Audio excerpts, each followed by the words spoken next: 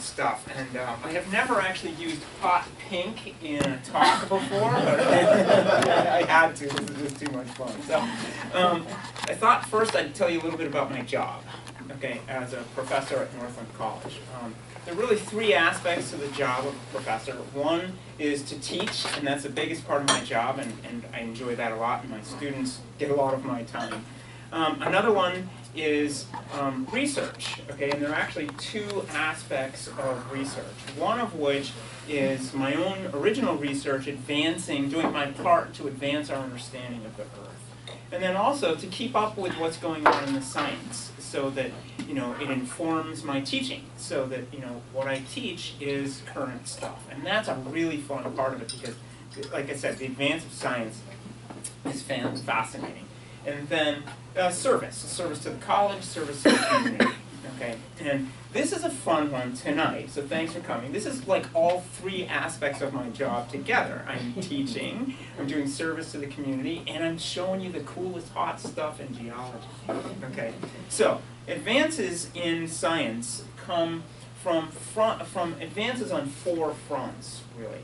One of which is new technology. We get these new tools, we develop ideas, okay, we could build a machine that does this, and we get new information from it, and it's like we can investigate something we've never been able to investigate. Okay, we've got some great old techniques that have been around for a long time, and we're just getting better and better and refining things like radiometric dating, dating things from the past. Okay, then there's good old field work, right? Hand lens on the rocks the good old stuff, the 200 years or more of, of field work has really led us to where we are in understanding the Earth. And then recently we're getting more and more looks into space, okay? And we're understanding more and more about how planets work, how solar systems work, how planets evolve. Okay, and that informs us about the Earth. Okay, so we're going to go through those four aspects tonight. Okay, starting with new technology. Okay, and uh, we got some really cool satellites up there right now, and we're learning a whole lot about the Earth from looking at it from a distance outside of the outside of the um, atmosphere.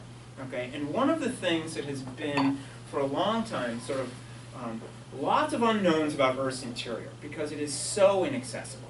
You know, thousands of miles down there into the interior of the Earth. You know, but um, we're getting better. We're getting better tools to figure out what's going on way down below our feet. I mean, the, the surface of Mars is actually more accessible to us than is the rock 100 miles down below us. Okay. So, this, this really cool satellite, it's called GRACE. It's a pair of satellites, actually. GRACE is Gravity, Recovery, and Climate Experiment. Okay. And there are two satellites. Okay, we'll take two satellites and there's the Earth, and the satellites are coming around the Earth like this, right? And they are measuring very carefully with a light beam between them how far apart the two satellites are, right? And as they travel, they get slightly further and closer apart, and they can tell what's going on. And it all has to do with gravity. So if this is a really dense rock, okay, the first satellite gets sped up a little bit as it gets closer to that part of the Earth, right? And then they get, so they get a little further apart, and then this one slows down, and this one speeds up, and they get a little closer together. So does this, these things have been going around the Earth for about nine years now, right? You know, figuring out how far apart they are. Where is the gravity? Okay, where's the gravity high and where's the gravity low? And it varies a lot. Okay, and it has to do with the density of the rock inside the Earth, right? And the density of the rock inside the Earth has a lot to do, is largely controlled by how hot it is, right? So when, when the rock is hot, it's mm. sort of expanded and the gravity is a little bit lower. Where the, where the rock is colder, it's denser, and the gravity is a little bit higher. So we're getting a view inside the Earth, mm. okay? And we're also getting a view combined with that with another satellite. Mm-hmm. Okay, so this is the first one. This is a gravity map of the Earth, okay? And so up here uh, off the coast of Europe is a gravity high, okay? And there's a place in the Indian Ocean where it's a gravity low.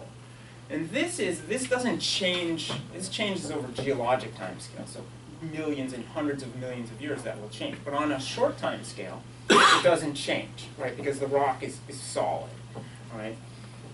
Then, but what does change is what, okay, the ocean is pliable, right? So the ocean has a response to this. So the gravity is high, the water is bulged up, and we didn't know this, but the ocean is bulged up, all right, in uh, some places in the North Atlantic, it is bulged up hundreds of feet. Oh. Okay, and in, in India, off the coast of India, it is bowed down because there's low gravity, right? It is bowed down hundreds of feet, right? And it's such, such big swaths that the ships don't even know it. You know, it's like, okay, they're going down and they come back up. you know, because they're also responding to the gravity as well. So, um, fascinating. Okay, so you take another area of the Earth that is really very little understood. This is the bottom of the ocean. Yeah. Okay. In January 2005, the USS San Francisco, a nuclear powered submarine, going full speed ahead, slammed in at 500 feet depth of water, slammed into an uncharted under, uh, undersea volcano. Okay, unknown, full speed ahead. The ship was almost lost. Okay, it struggled to get back to the surface. Uh, one crew member was dead. Most people on the ship were, were injured, some very seriously.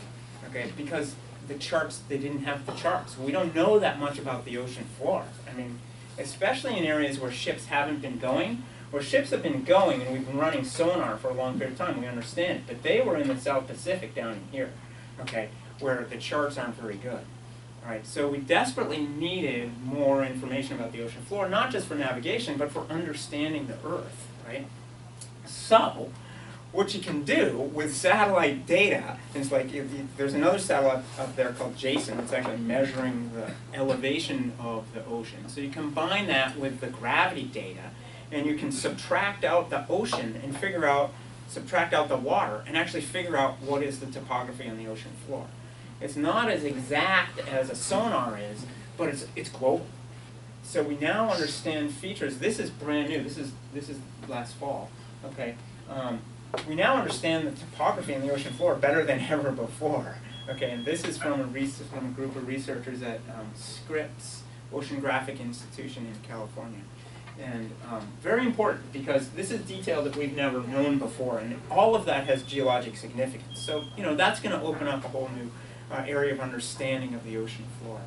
Okay, then, okay, what changes also with the gravity, what the gravity is also controlled by is water. Okay, so water comes and goes. So you got you understand the gravity control that is contributed by the rock, right? And then gravity, I mean water, you know, if it rains, there's more weight there, so there's a little bit more gravity. Water evaporates, and there's a little less water there. Okay, so you can do this correction and figure out what's going on with the hydrologic cycle, right? So here it is. Okay, this is well, this is Southern California, of course, which has been in a pretty severe drought for about a dozen years now. Plus, there's a lot of groundwater pumping for irrigation. And when you pump water out of the ground and put it on the field and it evaporates, it's gone. It's no longer in that system anymore. Okay, so California is losing weight rapidly. Okay, because of the evaporation of water. So the gravity is going down and the rock is actually coming up. Okay, so California is coming up because of the loss of water. Okay, we're basically, with this technique, we are measuring the weight of the earth in different places. Okay, so it's not just for water, it's also, oh, this was such big science. It made the cover of Science in September, which is really pretty cool. The cover of Science, the drought you can't see. okay, so, what you can also do is you can use that to tell what's going on with sea level, okay? And this is the sea level curve, and as we know, it's going up, you know, this is like the average line right here.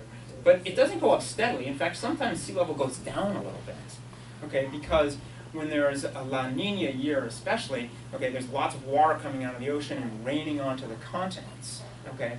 So the continents get heavier for a little while until that water drains back off and the ocean goes up again.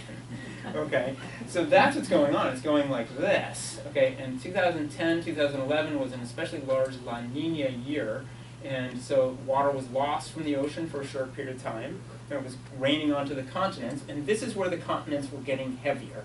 Okay, so we're actually measuring the weight of water, measuring the weight of rain through a year. Okay, but we're also measuring the weight of ice okay? And that's a really important study right now. What's going on with ice on the planet, okay? And take a look at Greenland, right there. Greenland is getting lighter and lighter and lighter because there's the ice is melting off Greenland quite rapidly, okay? So, um, and also the Jason satellite is measuring the height of it, and so the whole thing is coming down as it sort of the, the ice sheet is collapsing. Okay, so very important research there, and you know, from two satellites chasing each other around the globe.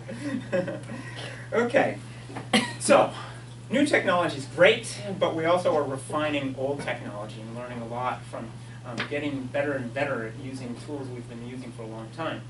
And most of what we have known up till now about Earth's interior has come from seismic waves, okay, and that's earthquake waves. And when there's a big earthquake, boom, okay, the Earth vibrates It rings like a bell for days. And we now have enough seismometers around the Earth that when there's a big earthquake, we're measuring, we're like listening inside of the Earth, you know, and the way the waves travel through it is determined by the density and the rock type and how elastic it is. So you can tell a lot by the way the waves travel through the Earth. Okay, so we now, it's actually called seismic tomography, kind of like a CAT scan. So whenever there's a big earthquake, we're doing a CAT scan of the Earth, right? and what we see inside the Earth with this advanced technique is that the Earth's mantle, okay, this is, this is the crust, and we live on the crust, and the crust is basically the outer shell of the Earth, kind of like an eggshell. And then the interior is, the, the next layer in, like the, like the white of the egg, is the mantle, which is very hot rock. It's not magma, but it's, it's hot rock, and it's kind of moving like a glacier, okay, as a glacier does, you know, Hmm. ice sort of sliding by one another. And that's what the mantle does. It moves very slowly, all right, and where the rock in the mantle is hot, it's rising up like this, okay, and where it's cold, it's sinking down like this. This would be a gravity high right there because it's dense rock, all right. So, this, you might think, why are we interested in the Earth's mantle, right? What we're seeing is that this planet is connected from the core to the top of the atmosphere. Everything is connected on geological timescales. Okay, so what's going on in the mantle is actually really important to what's going on on the surface. Okay, and here's an example. Okay, this is from seismic tomography. Okay, that blue ball is the Earth's core. Okay, that's the really hot molten part of the interior of the Earth, and this is the mantle. And these are what we call mantle plumes, where the rock is hot and rising up slowly like a glacier. It takes a million years to come up to the surface. And when it gets to the surface, it has a big impact there. Okay, this right here is the Iceland hotspot plume. So this hot rock is coming up underneath Iceland. Okay, so let's go take a look at Iceland now that we're understanding the plume a little bit better. Okay, there's Iceland. It is the plume is right underneath that thing, and that's why there's there are volcanoes on Iceland. Okay, but the, it turns out the geologic record shows us that the, the rate at which that hot rock is coming up isn't steady. Right? It'll come. It'll be hotter rock for a time. It'll be buoyant and then push Iceland up, and there'll be lots of volcanic activity, and then it'll quiet down and it'll sink back down. Okay, so what's happening is the ocean floor, like on million year timescales, will come up and it'll go back down. And they found some land over here um, between Iceland and um, uh, Scandinavia over there, where there's a section of the ocean floor that has actually come up above sea level, been eroded by glaciers and rivers, and had rivers carved down into it, and then it's subsided back below the ocean surface again. And there it is, river valleys on the ocean floor. Okay. And what happens when, when this goes on, okay, oh, here's the plume coming up, spreading out, lifting things up. We got some volcanoes there, all right. This was from November as well, so this is recent stuff. okay, it affects ocean circulation patterns, right? And ocean circulation patterns affect climate. So you get this bowl of hot rock moving up from underneath, you know, from the core of the earth and comes up and it lifts the ocean, the Atlantic Ocean floor, and the, the Arctic Ocean is no longer connected well with the Atlantic and it cools off the climate. How about that? Everything is connected from the bottom to the top. Hmm. Okay, this is my favorite.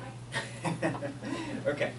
Um, radiometric dating is taking geologic materials that have a radioactive isotope, and we know how fast it decays, so we can see, we can tell how old that thing is. And there are lots of different radiometric clocks. Everybody's heard of radiocarbon dating, carbon 14. Okay, um, there are lots of other techniques that we can use. And one that goes, the one that goes back the furthest with the most accuracy is uranium decaying to lead. Right, and this mineral right here is zircon, and zircon preserves a really nice record of of dates. Okay, so and we've been dating zircon crystals for about 100 years, okay? But it was really crude 100 years ago, and we've gotten it better and better and better, okay? And so zircons are tough little grains, and they tell the story of the early Earth. And what a story it is, okay? It turns out that the oldest zircons that we can find are from sandstones. They're teeny, teeny little sand grains from a sandstone, an old sandstone in Western Australia in the Jack Hills. Okay, and the sandstone is old, and the grains within it are much older. Okay, and this is research that's been done by John Valley and his students at the University of Wisconsin um, Madison. Okay, so we are super proud that, that they have done this, and they, it is very painstaking, long, hard hours in the lab to get one date and they have dated 100,000 grains from the Jack Hills, okay, in the last decade. That's a huge amount of lab time, okay? And this is what they have found. This right here, this is the oldest grain, okay? Earth is organized as a planet about 4.5 billion years ago, all right? And what you can see within this this zircon crystal, this is this is the size of a very small sand grain, okay? Is it's zoned okay, and it has different ages, and it, it used to be that, you know, 50 years ago, you date this thing as like an average date for the whole thing, okay, but it's zoned, and it's different ages at different places, and that right there, uh. that core, that is the oldest Earth material we've ever dated, okay? It is 4.4 billion years old on a planet that's 4.5 billion years old, okay? And the title of this article was Closing the Gap Okay, so we're mm-hmm. closing the gap in our understanding of what happened in the early Earth, you know, when this, the whole solar system sort of organized itself, and the first rocks that were preserved, you know, 100 million years. And we're getting a record, we're closing that gap and understanding what was going on in that million, 100 million years, okay? So there it is, there's, there's all the data. Another important thing that we get out of this is that we can look at all kinds of things in the zircon. So we get an age date, but then we also look at the, the, the oxygen isotopes. They tell a different story, right? And they tell a story of water, right? And it is clear from the oxygen in this thing that within 100 million years of the Earth forming as a planet, there was liquid water. That crystal had to form with liquid water, okay, present in the system, not actually in contact with it. But um, so within 100 million years, there were rocks forming and there were oceans. There was a lot of water. Okay, that's like, that's sort of, mind-blowing because the, the image had been like, it was just a magma ocean for, you know, hundreds and hundreds of millions of years, but no. Okay, we're closing the gap. There's a lot yet to learn, but what an amazing, amazing story it is of the deep past.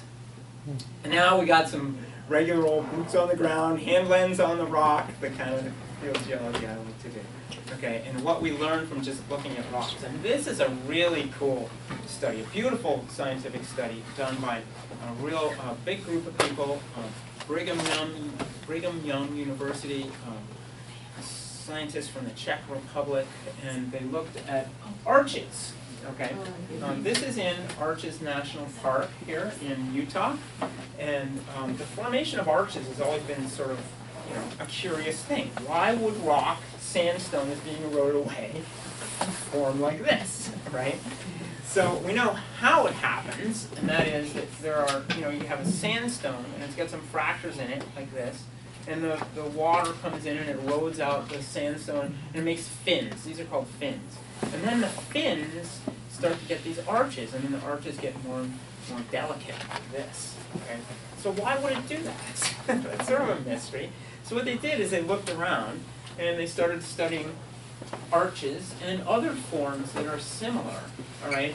And um, they did a lot of measurements. This is a beautiful study because they combined field measurements with experiments in the lab. Then they took all different kinds of different materials and eroded them and melted them and kind of had them fall apart in certain ways. And then they also did computer modeling. Okay, so they said, okay, well these are the these are the stresses that we would we would expect, and you know if we were to have this system evolve, what are the stresses within the rock, right? It turns out that what happens when a sandstone is being eroded is that as the weight increases on the rock, it gets stronger. Okay, because the sand grains are being pinched tighter and tighter and tighter. So it is the natural evolution of a of an of a rock that's being eroded that the strongest part that the force gets more and more concentrated and that gets stronger and more able to hold up the rock and the other stuff falls away. So the thing sort of evolves symmetrically to hold itself up. And it's just like a logical progression of forces within the rock. You know? And it's like that's a beautiful thing, right? To, to figure that out. I mean it's it's really kind of simple, but you know, it took us this long in this kind of science to you know say, okay, this is what's going on with arches. Okay, and it's not just with arches; it's all kinds of things. Right? Take a look at that. I mean, you take a look at that and you go, why would a rock be bound pedestal rock? Why would it do that? Right?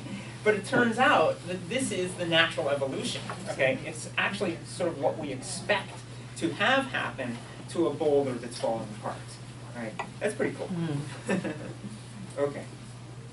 Then we're always interested in the past and what the past can teach us about the present and the future. And good old field geology and combining lots of different techniques, we're learning more about more and more about the Earth's past, not just closing the gap, but you know how how life has evolved, how the planet has evolved in time. Here's the geologic time scale. There's zero, that's today, right? There's 4.5 billion years ago. Okay, so those zircons are from right there. okay. Um, we didn't have many rocks preserved until right about here, right? Just 3,800, 3.8 billion, something like that. Okay.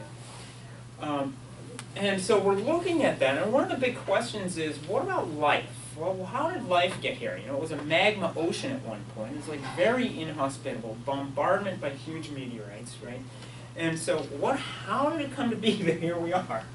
Right? That's a big question. So we go to some of the oldest intact rocks in the world, not just individual sand grain, but there's the rock, you know, that is part of the past. Right? And northwest Greenland has some of the oldest rocks in the world, um, just under four billion years old. Right? And these are, interestingly, these are iron formations. Okay, not too unlike what we have in the Superior region.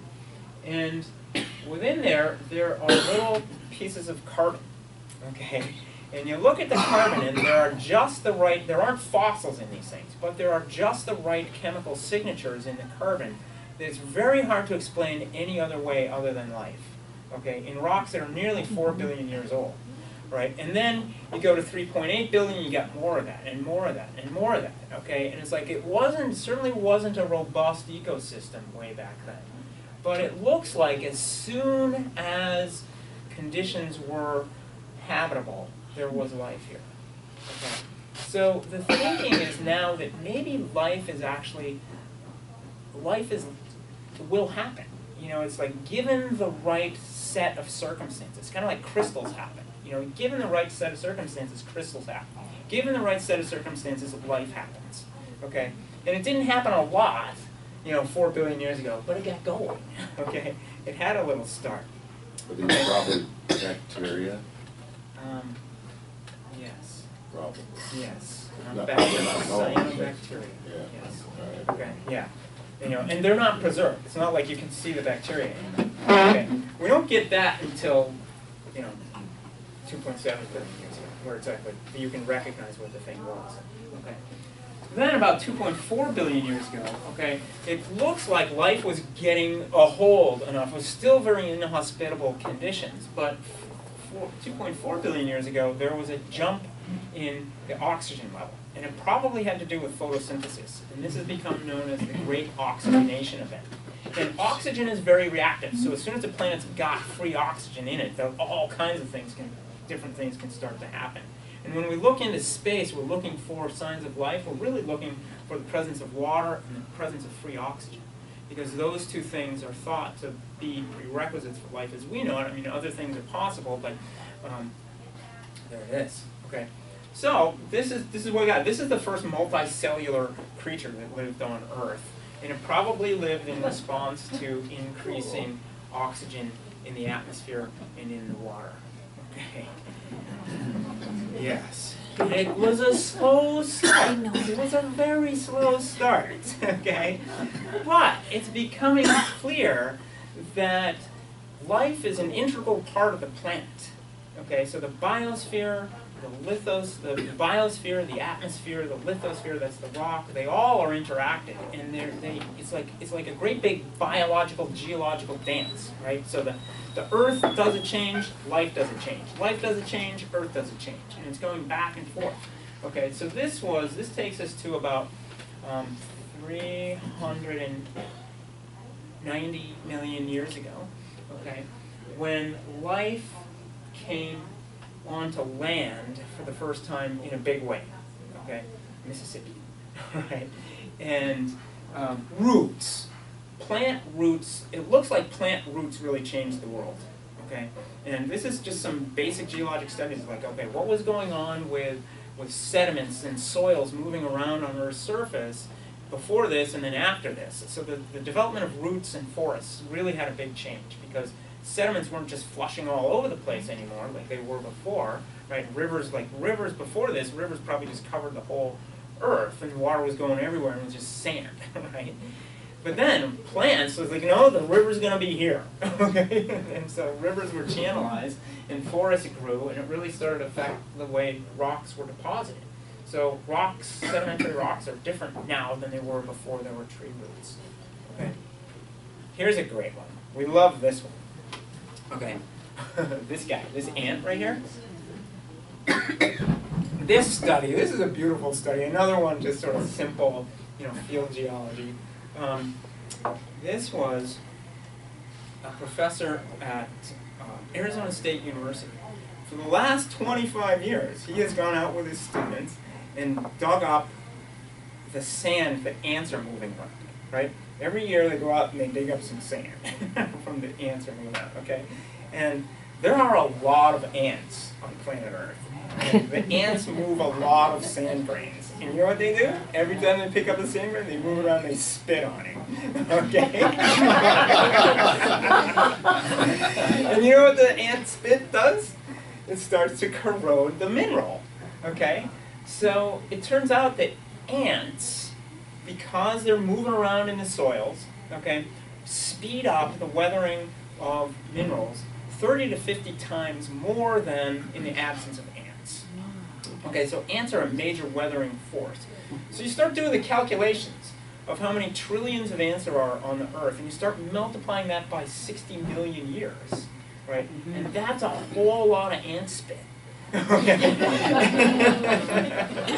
that's had a whole lot of influence on a lot of minerals. Okay, so this mineral right here, a very common mineral, right, is actually being weathered, and the ants are contributing or changing it from this mineral into this mineral, right? And this carbonate mineral right here, what happens is it actually reacts.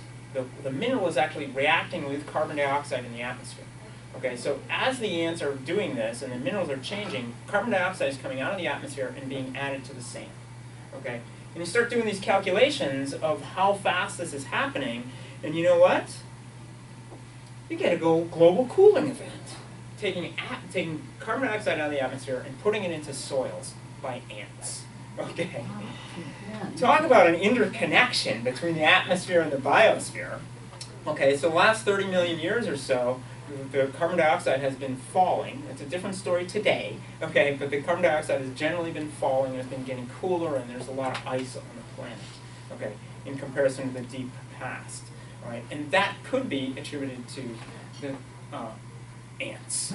What a connection. So ants are some of the superheroes. Yeah, superheroes. some of Emily's superheroes. Emily has written about the Love it. superheroes of the, of the world. And the ants are certainly in there. Okay. Okay. Now, we go to th- this scientist. Okay, here's another superhero. She's also holding up an ice core. Okay, so we're trying to understand the past climates. Okay, what has happened with climate on Earth, and how does that inform us about what's going on right now and what might happen in the future? Okay, really important studies, and the best climate record we have comes from ice. Because as ice is crystallizing, and snow is falling and turning into a glacier, it actually traps air bubbles, and it traps a lot of other information in the ice that, about what was going on with climate.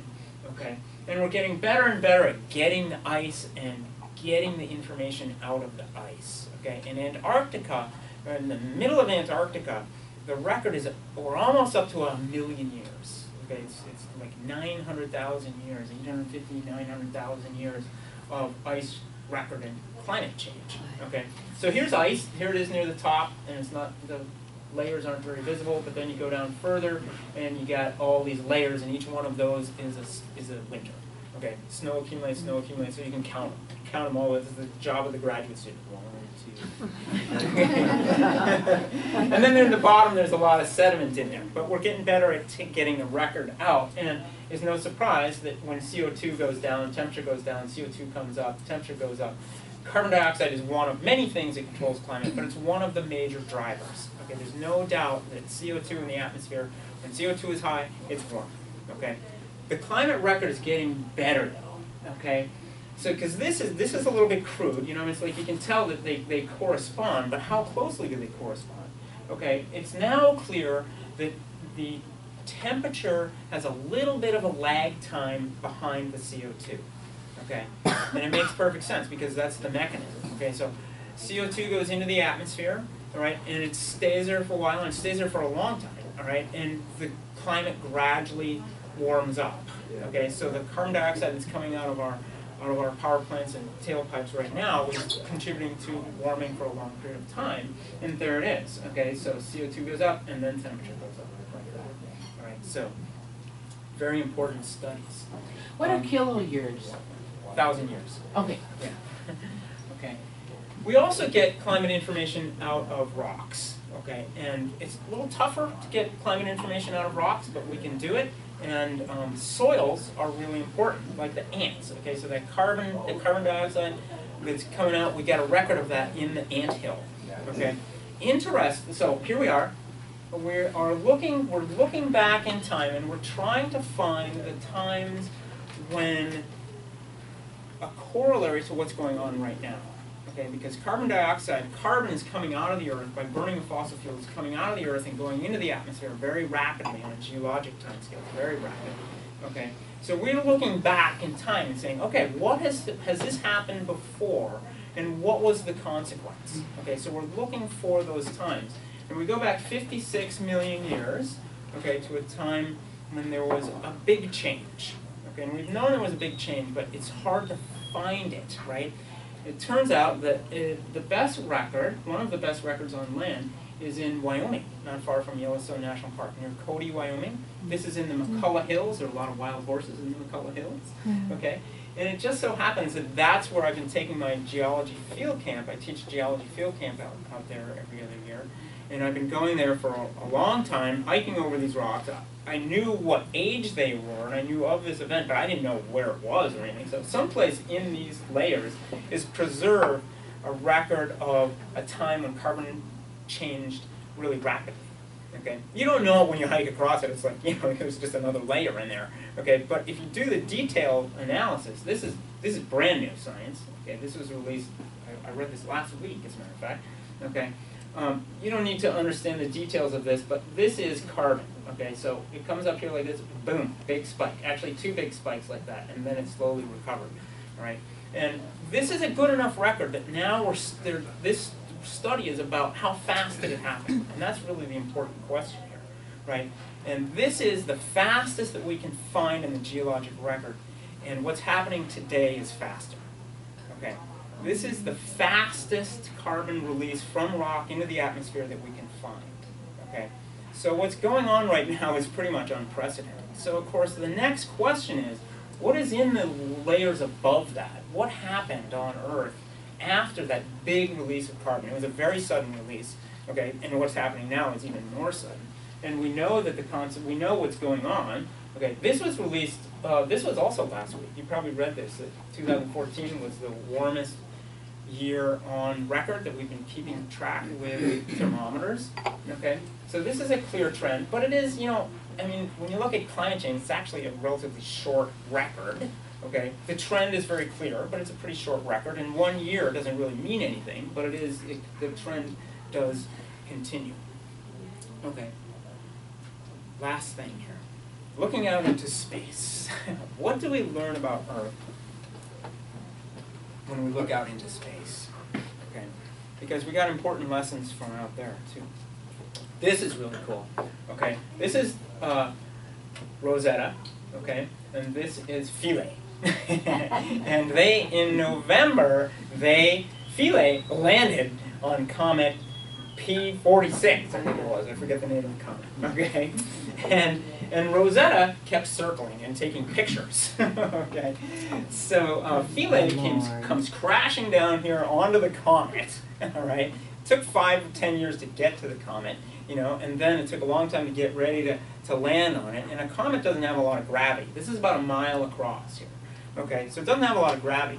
And Philae comes in and hit and bounce. Okay, this is a little bit unexpected, right? And boing, two hours later, boing, comes down with a thud, okay, on its side at the bottom of a cliff. All right, and its solar panels weren't pointed at the sun. So this is not what was planned, okay? Nevertheless, from its side, it was able to get a little bit of soil there, okay, and do an analysis, and it had 60 hours of battery life, and in that 60 hours was, was able to tell us that the water on a comet is not the same as the water on Earth. Okay, very interesting.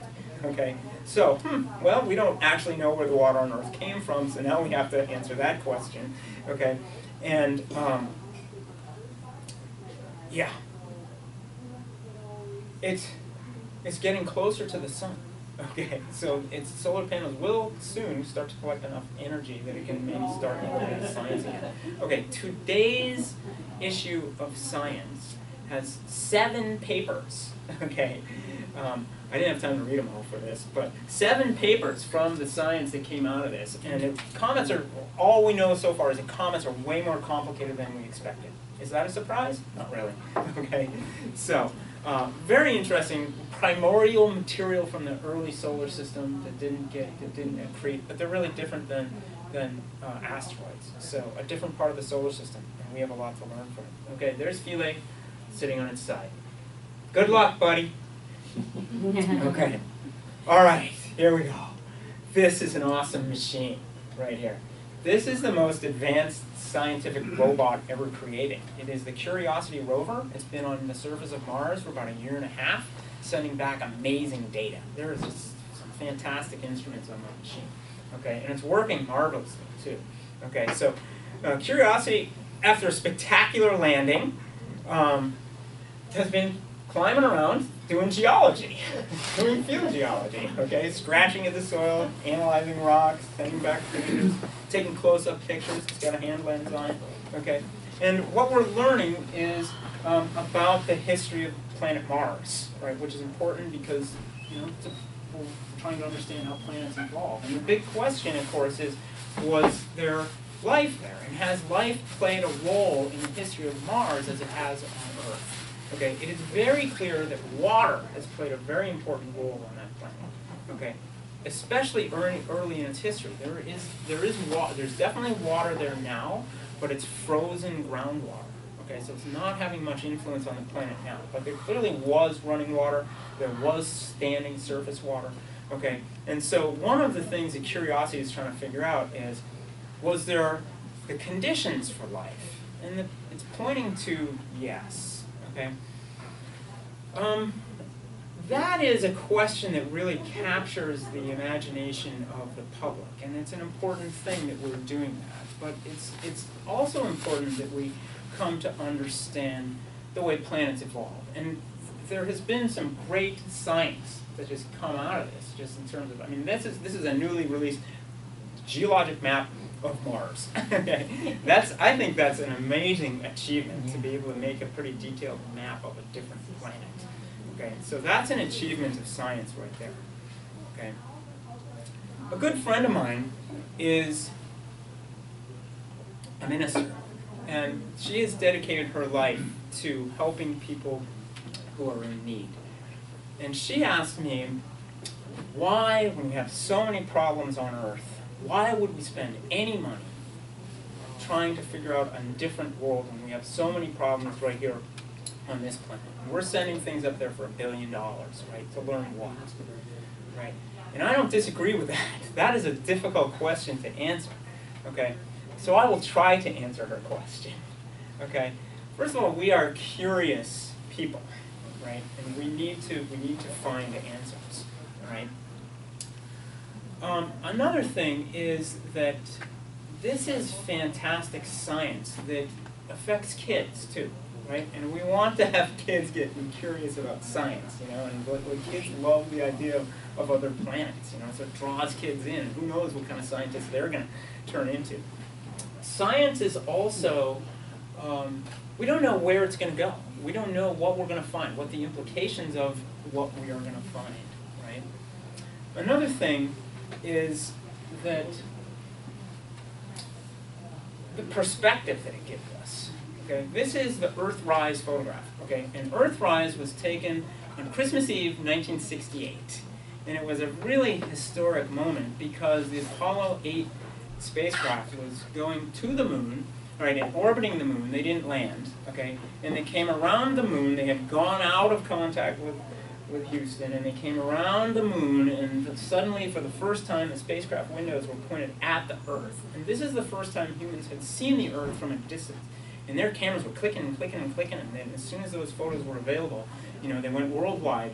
And this was 1968 when we were, you know, civil rights movement was going on, and we were first starting to understand the environmental impacts. And this photograph was like emblazoned in the consciences of our society as we're, as we're changing as a society. Okay, it is a really important photograph, or it's sort of a symbol of the change that was taking place there. Okay, today we are, we have, you know, this is 50 years later, and you know, there are almost twice as many people on the planet, and you know, we're looking at climate change taking place and how, what, where is this going, right? And some people are thinking, well, maybe we move to Mars, okay? And what Mars, I think that this may be the Earthrise photograph of this generation, okay? Because you take a look at the surface of Mars, and it's very clear. I mean, maybe there was a little microbe here or there, but that planet has never had life, on, robust life on it. That's very clear. Okay, there has not been an ecosystem there like the way there is on Earth. And there aren't the ingredients there for life. Okay? That is not a habitable planet right now. Okay, we're not going to go there. We're not going to live there. Okay? We're not even sure we can get somebody there and live long enough to get them back. Okay, we're not going to live there. All right? So this is a really important photograph because we're not going to live there. Okay? This is our home right. This is Earth. Okay, this was taken by Apollo 17, the last Apollo mission to come back, and the only Apollo mission to carry a geologist, by the way. Okay, coming back to Earth, and this is the photograph that they took on the way back. Okay. So I think that this is the message that we get from space exploration and from, from the advance of science. Is one is that this planet is totally interconnected from the core to the top of the atmosphere and life is an integral part of the planet and always has been. Okay, it's locked in this great biological, geological dance, and we're part of that. We don't know where it's going. We do know that we're having a big influence. Okay. We also know the more we look into space, the more special this planet is. Okay, this is a really special place. Okay. And I think that what we learn from this is that the more we see in the earth, the more special it is. And the more you understand something, the more you see in it. And the more you see in it, the more beautiful it is. Okay? And the more you love something, the more you're willing to work to protect it. So I really think that that photograph right there, this is my answer to my friend Holly, is that that is the Earthrise photograph of this generation, to know that this is our home. All right. Thanks.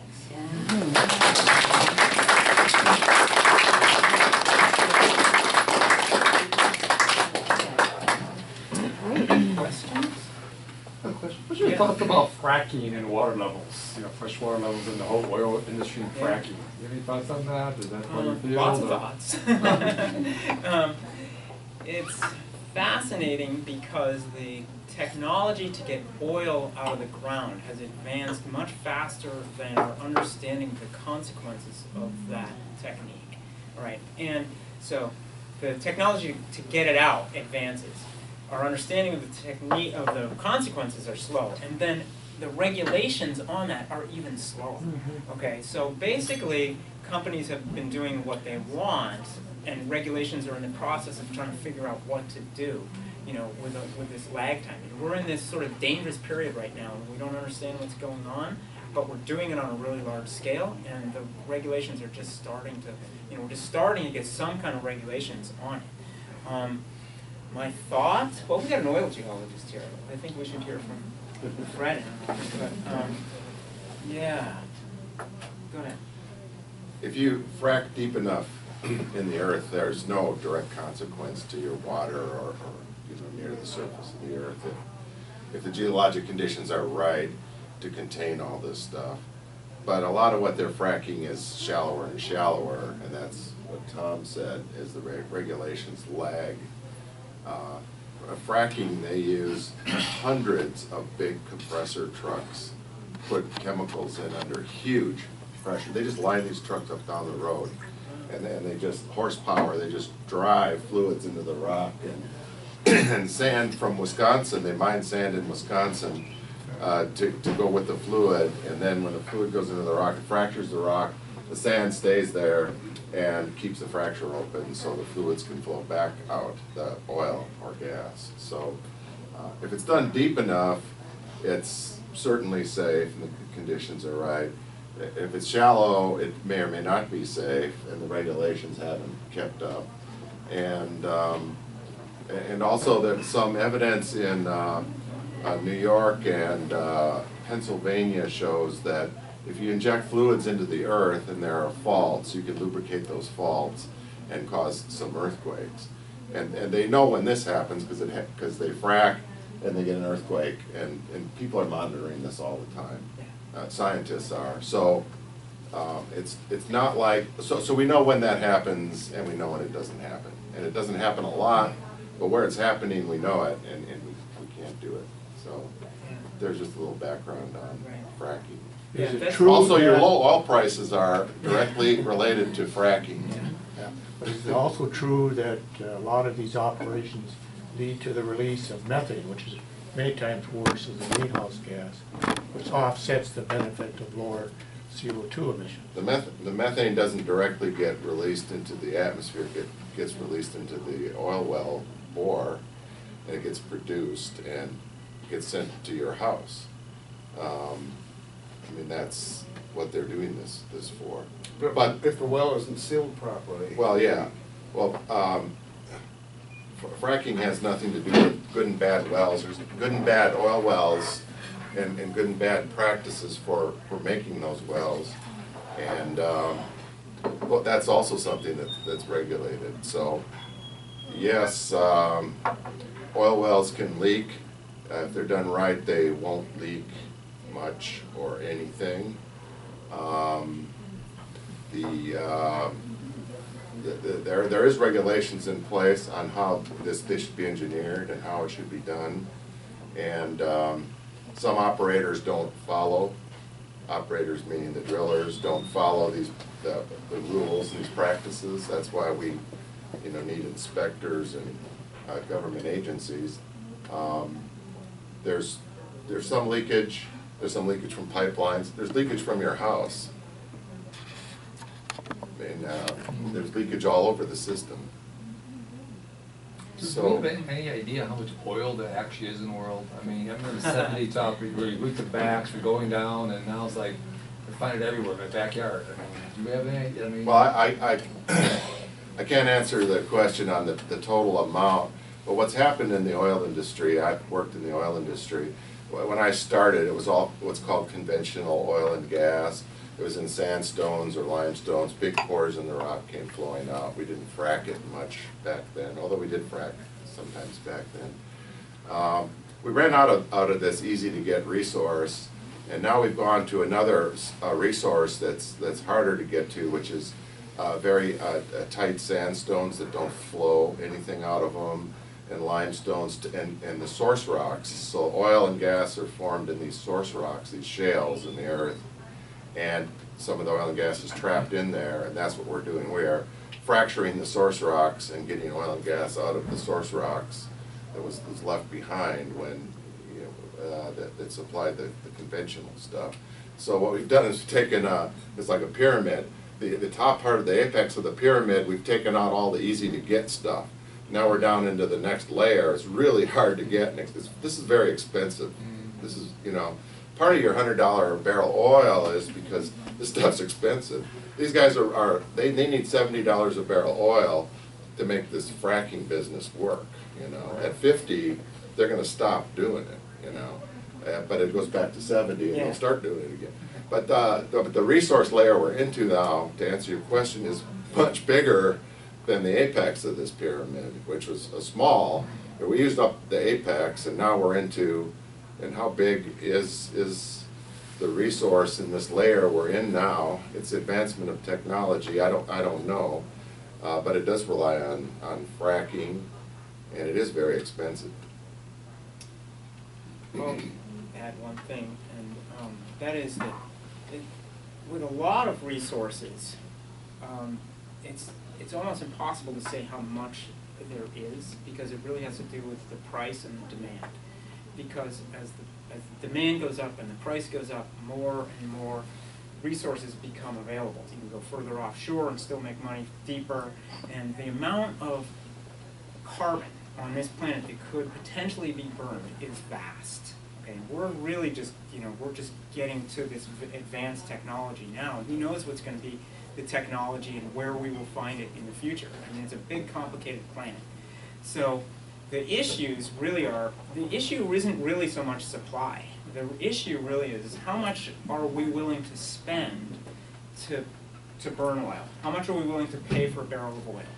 And what's going to happen to that carbon once it's in the atmosphere, and what's going to be the impact of it? Okay, so those those two questions are much bigger questions than how much is in the earth, you know, because it's big. So what happens is like you know you get less and less and less and less, you know, I mean harder and harder and harder to get stuff, but there's always more, you know. It's the same. It's the same with, with copper. It's the same with, with iron. It's you know all a lot of mineral resources are that way. It's like you know geologists can almost always find some more. Thank you.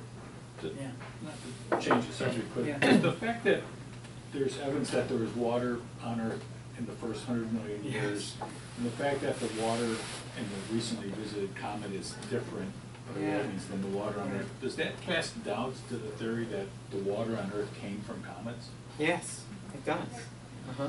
Um, uh, the, what I read sometime between November and now was that um, the thought is that, it, that they came in on asteroids. Okay, and the asteroids made up the bulk of the material that, that actually went to form the Earth. So it was thought that the meteorites, came, you know, the asteroids came in and created the Earth, and then comets added the volatiles, the water and the carbon dioxide and stuff.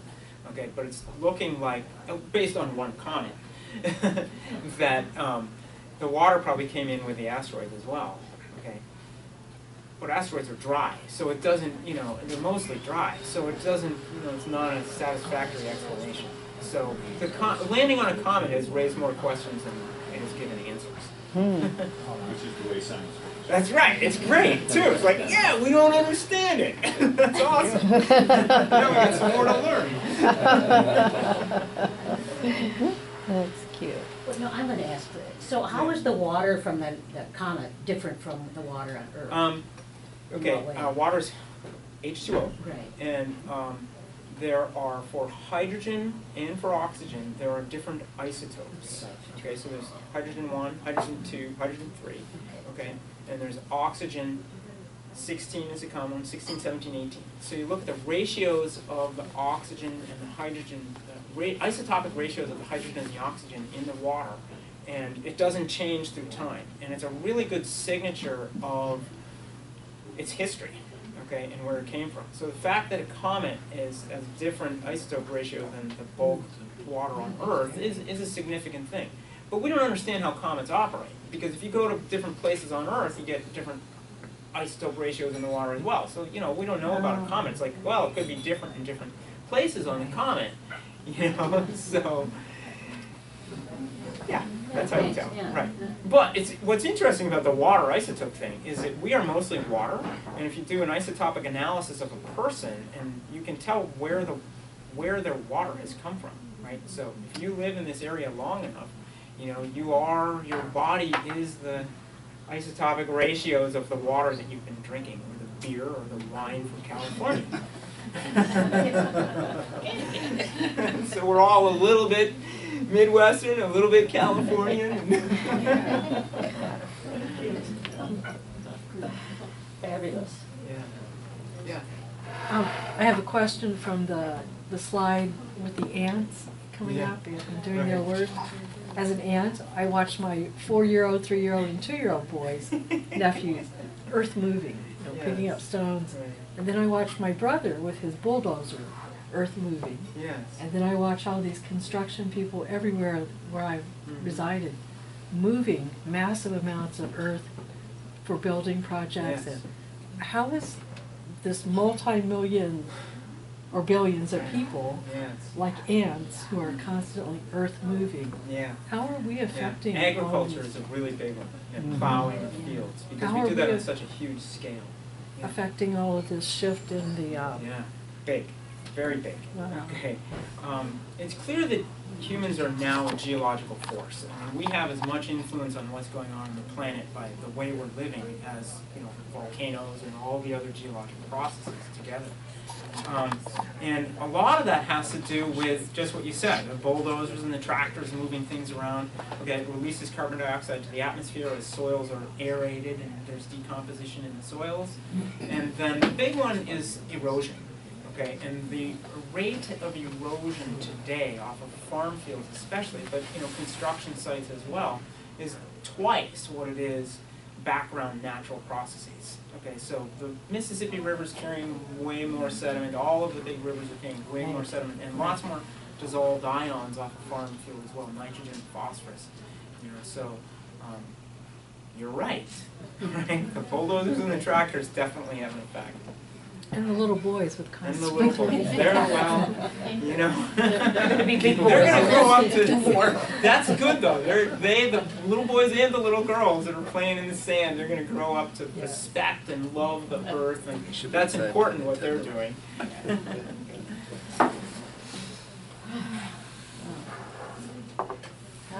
No more questions? Thank you so much, Tom, you. for all that great information.